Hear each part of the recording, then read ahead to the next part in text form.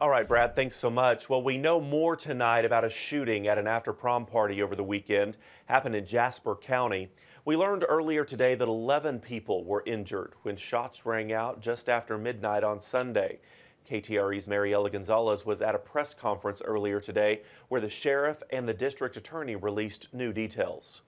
What should have been a very special evening turned into a tragic event that will unfortunately be remembered for all the wrong reasons. The Jasper County Sheriff's Office shared new information Tuesday afternoon regarding the shooting at a home on County Road 263. Jasper County Sheriff Mitchel Newman says they currently have four people of interest. Myself, Chief Deputy Scott Duncan, and deputies are working around the clock to process evidence, statements, and follow leads.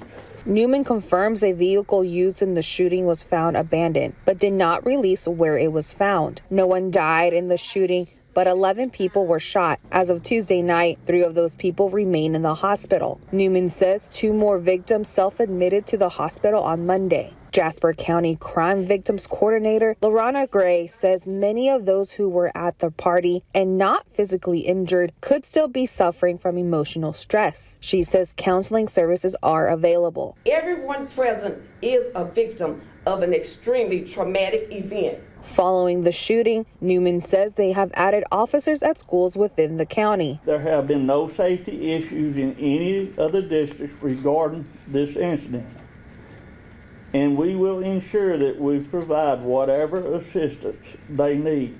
District Attorney Anne Pickle says they intend to prosecute everyone who is responsible. Children are the most precious and vulnerable members of our society, and senseless acts of violence endangering their lives will not be tolerated in Jasper County. Mariela Gonzalez, KTRE, East Texas News 9.